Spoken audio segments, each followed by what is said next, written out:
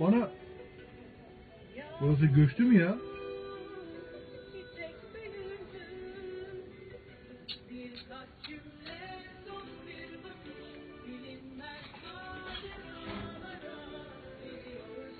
Yok böyle bir rezalet.